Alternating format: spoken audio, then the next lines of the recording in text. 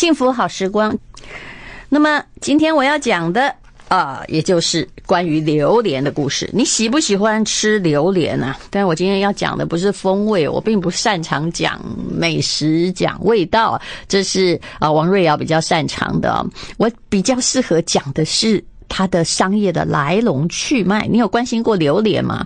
其实我其实没有很爱吃榴莲，但我还是有点关心它，因为榴莲是一种只要你可以吃、会吃，你每年都会等待它的食物，它也是有一种上瘾性的商品。那么啊，这是刘芳荣在《商业周刊》写的，他说啊，他在武汉搭车啊，然后就瞄到了驾驶座旁边有一个大的榴莲呢。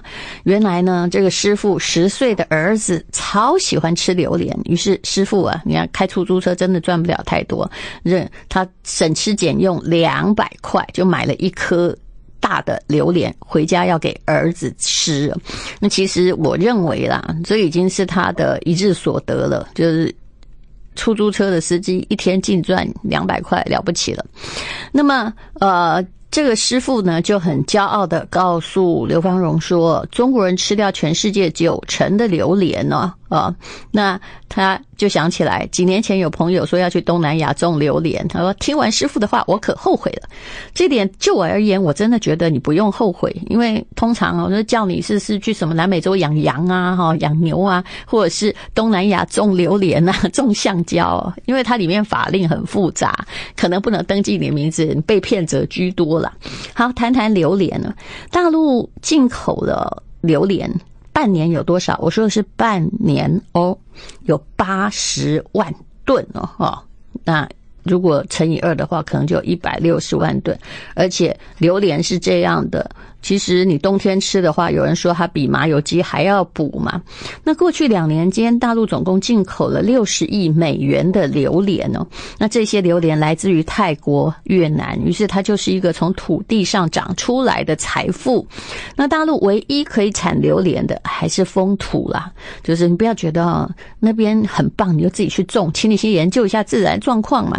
海南岛看起来不太够热，榴莲的年产量只有五十吨，连进口。口的万分之一都不到，那他说呢？这是很类似于晶片的故事，但我知道不一样哦。晶片也许有一天大陆造得出来哦，但是榴莲很难啊，他要看天吃饭。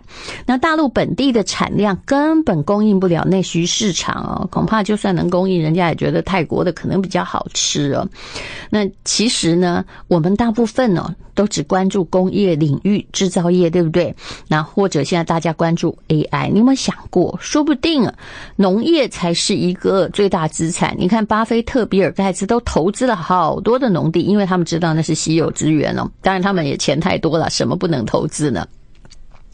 那呃，像很多的大陆的企业，马云呢，啊，阿里巴巴、联想集团，这些年来他们对投投资农业都有无比的热情哦，因为你可以呃不打手机，暂时不会死嘛，啊，只是难过啊，但是。一天不吃东西，你就会觉得哈，人生已经完蛋了。那现在加上极端气候的影响，农业的领域成为大陆经济和投资者眼中的明日之星。他们有的很厉害哦，像蒙古啊，竟然可以把一片呢沙漠改造成牧场啊。那么台湾传统上是属于精致小农的模式，那也是没办法的，也就是我们人多嘛啊，地挤呀，嗯啊。呃，土地算是肥沃的，但是很挤啦，嗯。那么台商是很难了解这种一去哈几千亩的粗放又追求规模的大农生态。那么是不是我们也要思考一下啊？农业在台湾难道真的没有火花了吗？是不是可以跳出每一块地都小小的限制？那大陆呃农业有无钱的无穷的。农业在大陆有无穷的潜力，事实上在全世界都一样哦。那其实呢，啊，这个你现在要投资的，恐怕。投资晶片，你也没那么多钱呢、只能买股票啊。那投资农业呢？好，只要你不被骗的话也可以。可是，在我的认知里面，只要扯到土地这件事情，尤其是在国外，你啊常常就是要跟官方。那如果官方腐败的话，你被骗的几率实在是很高。为什么呢？因为前不久几年前吧，我有一位朋友是一位很好的大姐，她是一位上市公司的董事长，她就跟我说：“淡如，哎。”我要投一片土地呀！我给你这样二十分之一股份。我说你干嘛要我这小小的钱？他说有你在我比较安心。我说嗯，我是干嘛？我是来当那个 呃呃风师爷的吧。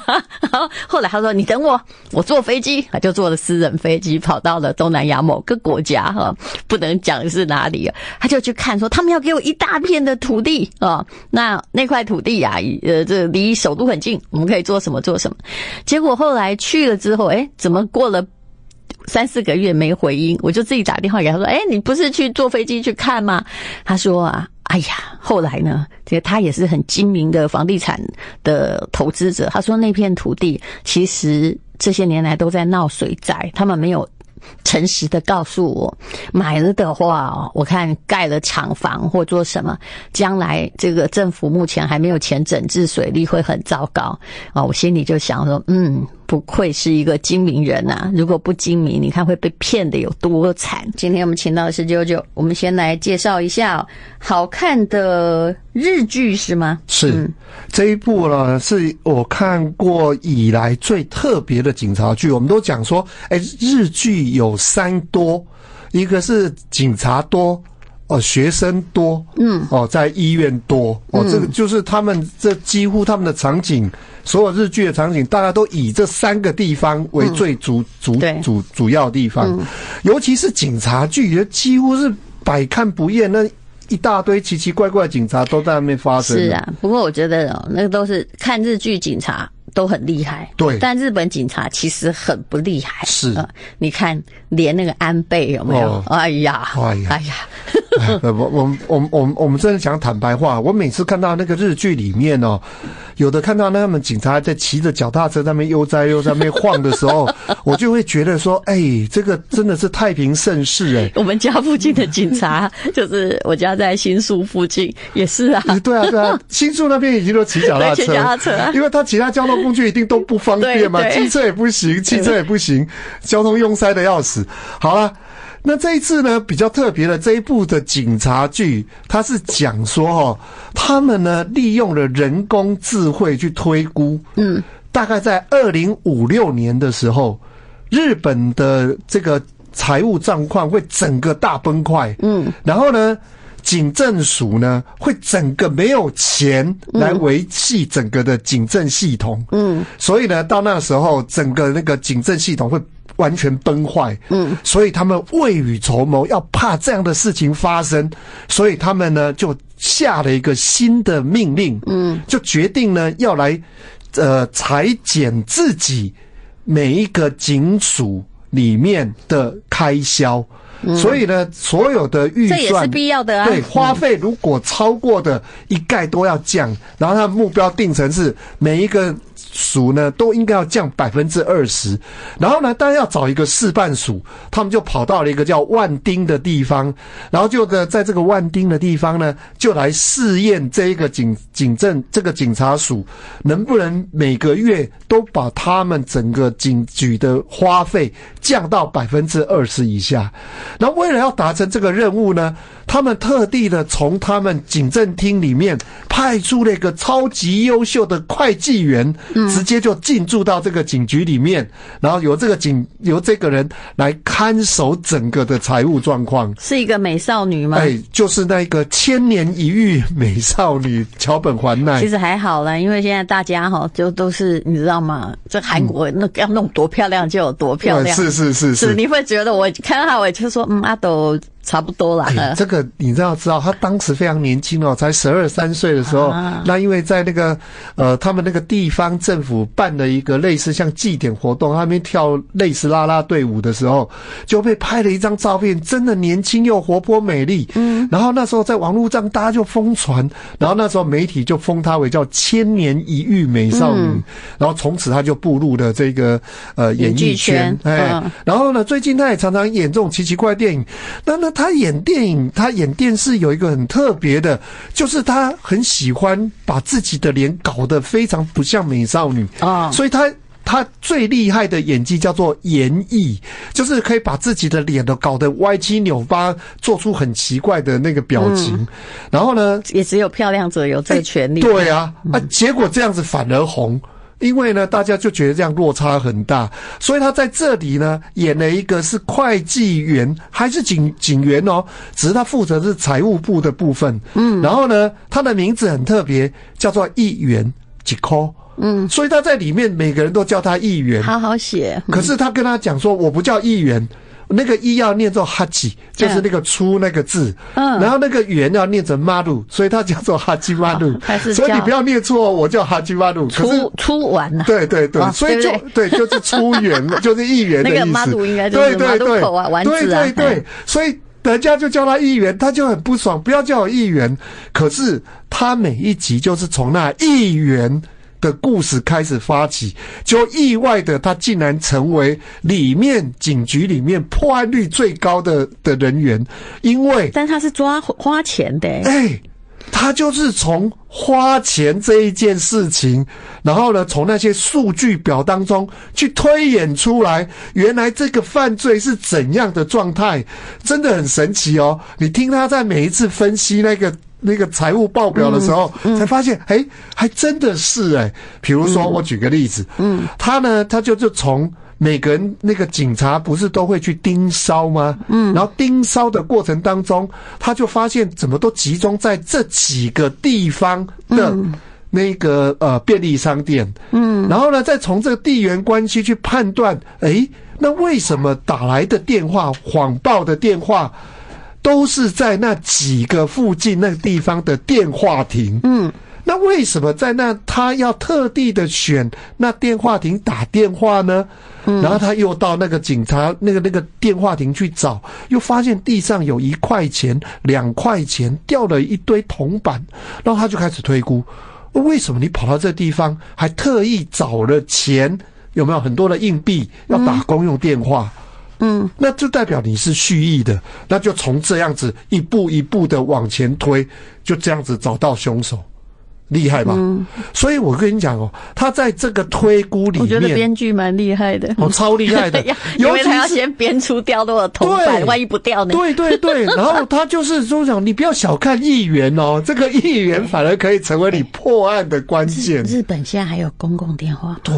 我怎么很久没有看？很久没有看到了，但是所以他就从这里就可以去找到一些蛛丝马迹，还是有，只是很少，少到几乎都快没有了。他这个男主角年纪不会太大，不会太小啊。泽村一树啊，这个我们常见的，对，呃，之前有看过那个名医，哦，那个呃一系列他的就是一个冷笑，但是很聪明的那个医生。他的出道作，大家不知道还记不记得？以前有一部很红的日剧，叫做《树屋一》。树屋一课，哎，树屋二课，树屋二课，对，树屋二课里面，他就曾经演那个警警卫，所以每次都出场来这么秀一下，他就从那里开始演演这种戏的。然后后来你看到现在已经变成一个大叔级，已经是演主角级了。但是他就属于老派的警察，他会觉得办案就是会花钱呢，而且你知道吗？他办案的时候破坏现场，对，没错，他就是暴力，就是那种很传统的那种警察。他也是因为他就是因为被被人家拍了一段视频送上网络了之后，所以呢，特地警政厅呢就特地指定要以这一个警署为为目标先下手。哎，这字我不认识，这应该就是翻译来的。他的日文名字叫做 Tokumei。嗯，哎，对，这不知道什么意思哈。反正总而言之啊，他是从会计这个角度去来。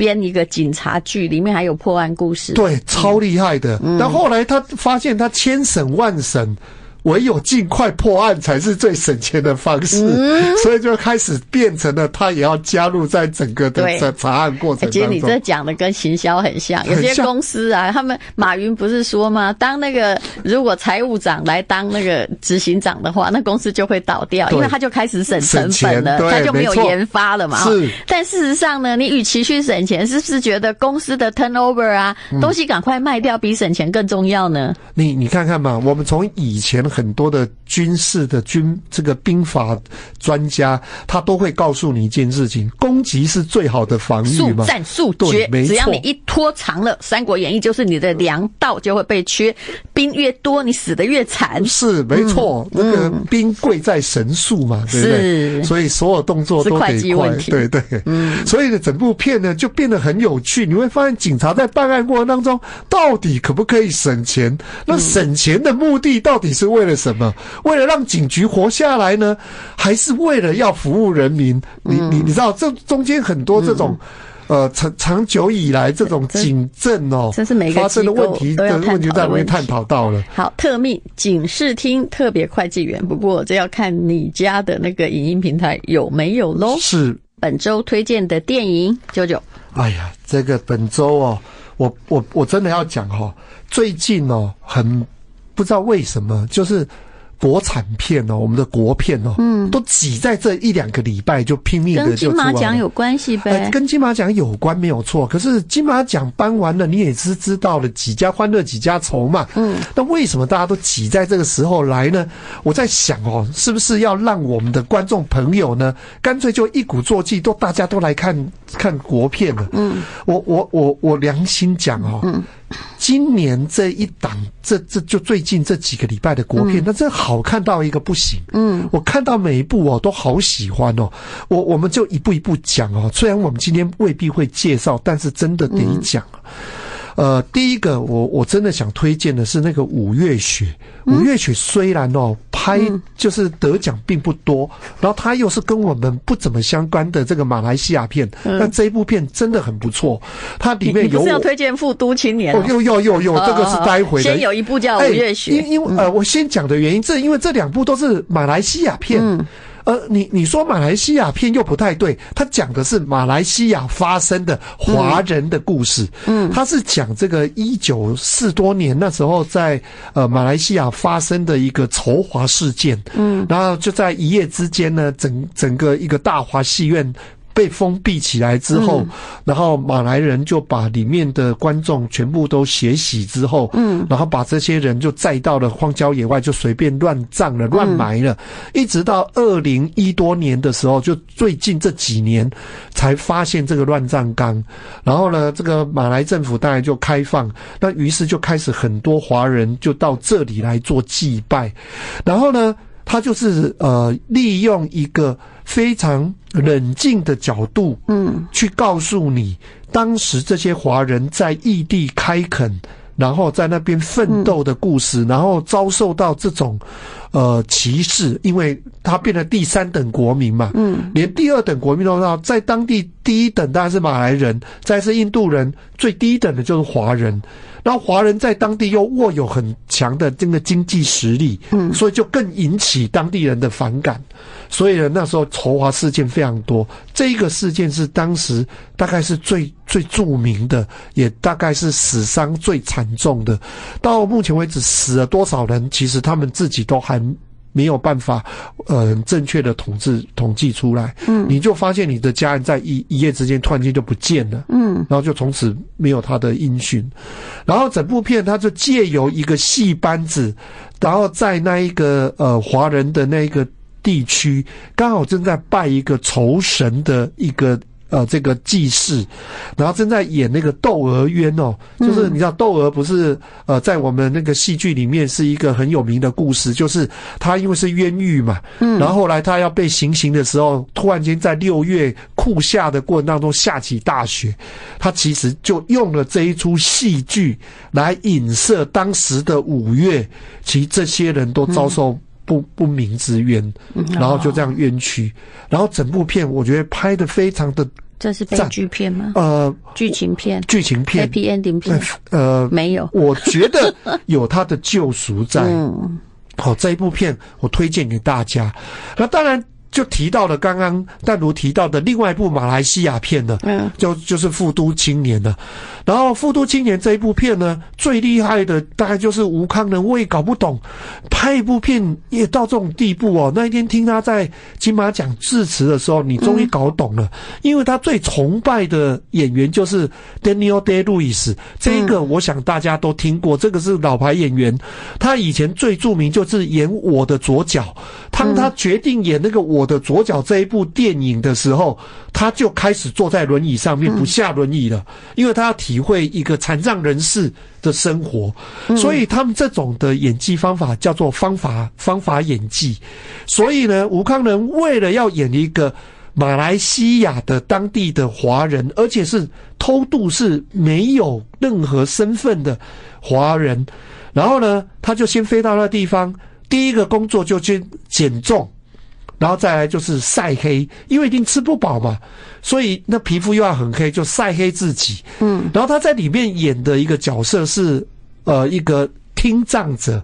他不是不会讲话，但是他听不到，所以他一直带着助听器，然后常常就要比手语。所以你看到那一个金马奖颁奖的时候，不是主持人跟他一直在玩手语嘛？就就是这个道理啊。然后他在里面演的这一个角色，演着真的丝丝入扣，最重要是没有半句台词。嗯，然后他就要演出一个很爱护。要是我，我会觉得好轻松哦，对，不用讲话。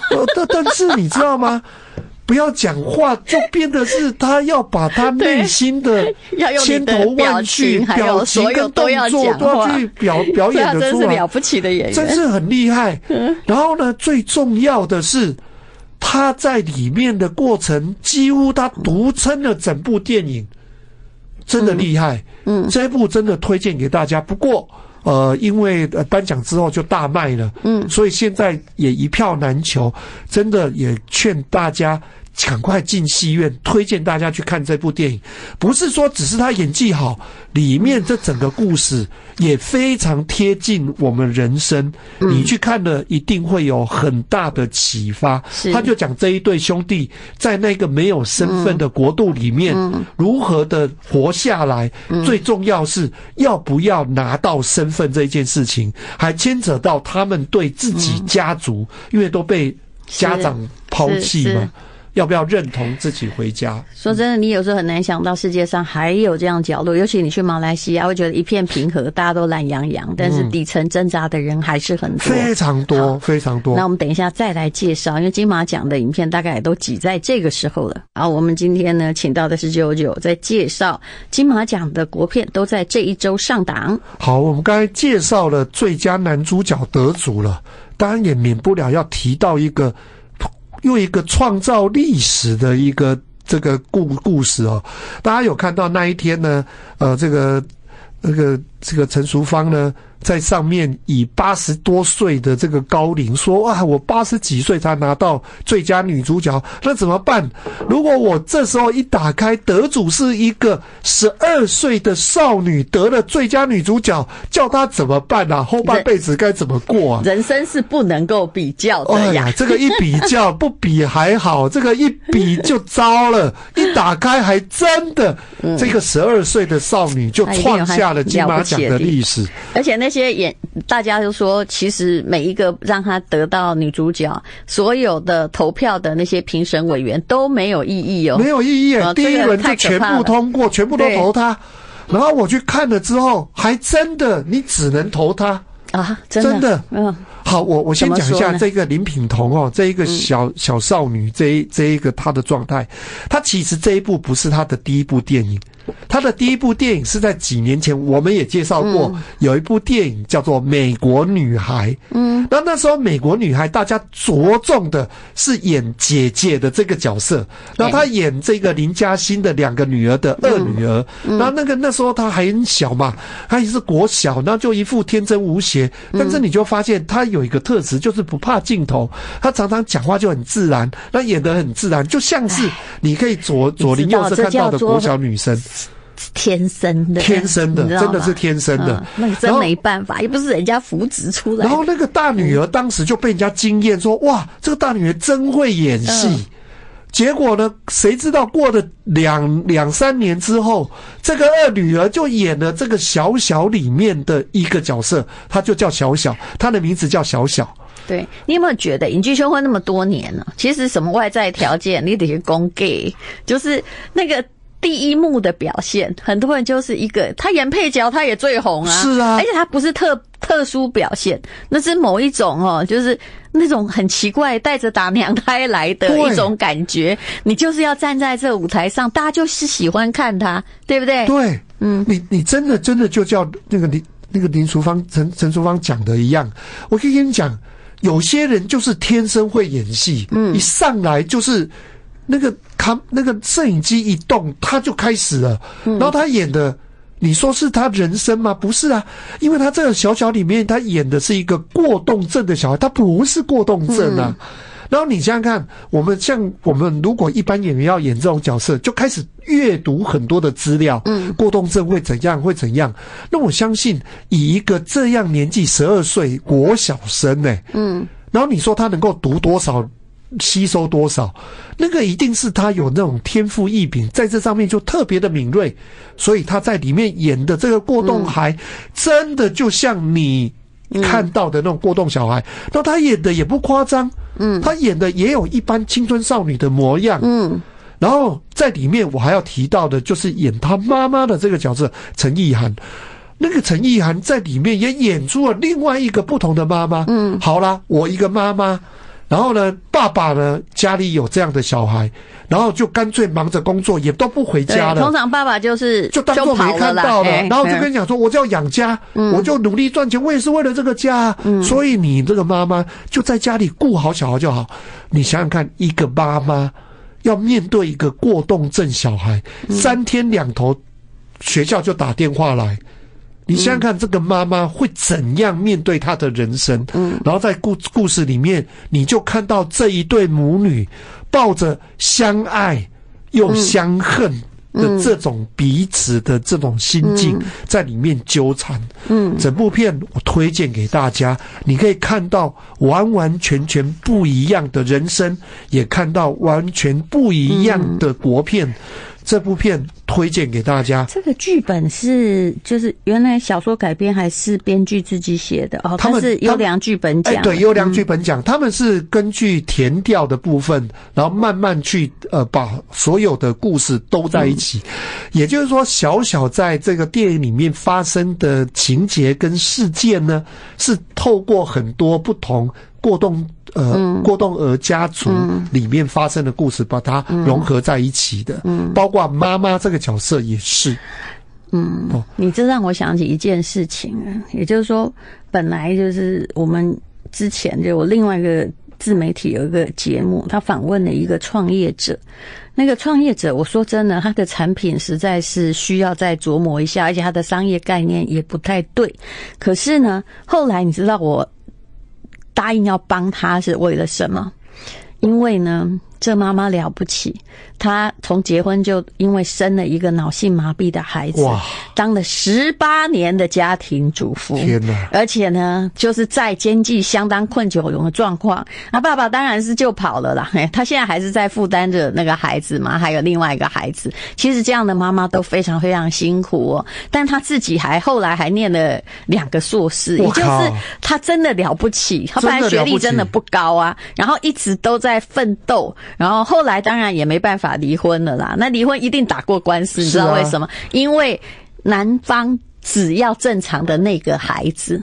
对所以妈妈后来的状况就是，我所有都负担，但两个都我一起，因为孩子太小，那就是呃，所以后来我就答应帮他。我觉得这样不容易耶，所以你要不要有贵人的前面？就是你恐怕哈，就是自己你会在某个地方你也奋斗了，尽了你的努力。嗯，好，九九，你只剩一段可以讲电影了。好啦，我再来介绍一部国片呢、这一部呢，曾经是台湾之光的这个呃导演哦，这个再度呃推出的一部巨作，但它的片名很特别哦，我们都念成 B I G Big。嗯，但那事实上呢，这个 big 是一个数字，一串数字的变化，叫八一六。你注意看那个八一六，稍微把它改写一下，就很容易变成 “big” 这个字。嗯，嘿，然后这一部呢是魏真的有一点远，魏德胜的这个新的电影哦。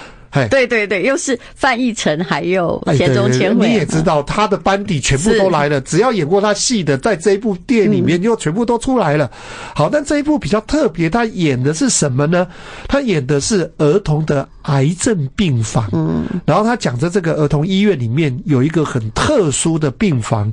就叫八一六，那这八一六呢，就曾经有一个小孩子在里面得了血癌，然后呢白血病，然后呢就痊愈了，离开，然后结果他就在八一六病房上面用着签字笔把那个八啊，把它改成 B，把那个一呢改成 I，把那个六改成 G，嗯，他就认为说。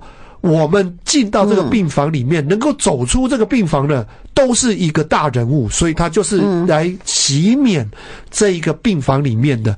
那这个病房里，这个大病房里面总共可以有六个床位，他就是故事，就是描写进到了八一六病病房里面的这六组家庭里面，嗯，这个血癌啊，不，不是血癌，炎症儿童炎症的这个家庭所发生。的故事，嗯，然后整个故事哦，我跟各位讲哦，这一类的故事，你就只要先做一件事情，进戏院就先带好你的面子跟手帕，这一定的，嗯，里面的故事非常的感人，然后你也知道这种生死攸关，但为了正派，应该也里面有一些幽默感，对不对？他就是想用这种好笑来冲淡。然后就让你觉得悲伤更悲伤，这这这就是一定的，因为你在里面笑得很大声，接下去到达悲剧的时候，然后你你你就会哭得更大声。这里面也有很多儿童演员啊，超多的，是，而且这些儿童演员还真会演，嗯，哦，一个比一个会演。还有特别在这里再讲一件事情，这部电影还有一个很特殊的地方，它是。里面有夹杂着将近大概二十多分钟的动画，嗯，然后呢，这个动画就会呃一段一段的穿插在整部真人演出的电影里面，嗯，那他为什么要演这些动画呢？其实这动画里面呈现的状态，就是在描述小孩子在跟。病魔对抗的这个状态，尤其有时候是梦境，有时候是心理状态，所以它是有一部动画跟电影交交汇的一部新的尝试的这一个呃这个电影，然后里面呢感人呃，然后其实也诉出了很多家长面对这种病童。那种无能为力的悲哀，然后里面呢，甚至安排的有一组人是有有原住民血统的，然后呢，他根本就是信奉的是基督教，嗯，然后呢，另外有一个根本就是那一种八家将的，嗯，哦，里面两组家庭在里面就形成很大宗教的冲突，不过在里面他也达成了另外一种宗教的和解，哦，大家去进戏院就可以观赏得到，嗯，推荐给大家，嗯，非常棒的一个电影。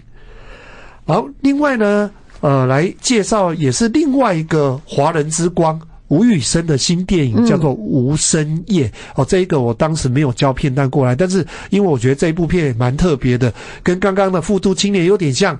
这一部片从头到尾没有台词，就演出了一部动作片。你唯一听到的声音就是砰砰砰。好吧，他故事也很简单。吴宇森重回他的暴力美学哦，真的真的有够暴力，但也真的很厉害，创作了很多很厉害的这种动作设计。整部片故事很简单，就讲有一对幸福的家庭，爸爸带着小孩非常高兴过着日子，谁知道他们家附近大概就帮派猖獗，有。他的儿子在有一次在路上不小心就卷入了帮派的血拼火拼当中，就导致死亡。爸爸呢也在这过程当中被开了一枪，声带就受伤了。把他救活了之后，他就不会讲话。你现在可以明白为什么整部片没有台词了。所以爸爸为了这整件事情，就开始走上他的复仇之路，决定要把。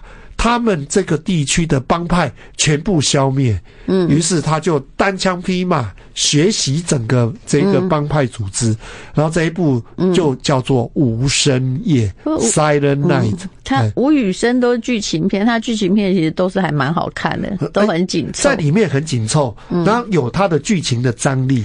但最厉害就是那个动作设计，有很多动作你从来没见过哦，原来动作戏可以这样子拍啊！不过我觉得他自己为什么喜欢暴力美学，跟他小时候的经验应该有关系吧？他又讲了他小时候的经历嘛，因为他长大的社区可能就是各种种族的人都有，有混混欺负他，叫他进帮派。他说他随身都会带。砖头还有棍子，对，有一天还有人往他的脸上去泼硫酸，他用手臂挡住，烧到额头就还没有到眼睛了。他妈妈哈还很冷静的把他的头浸在水槽里面，后来这些伤口花了一个多月才痊愈。是，你看。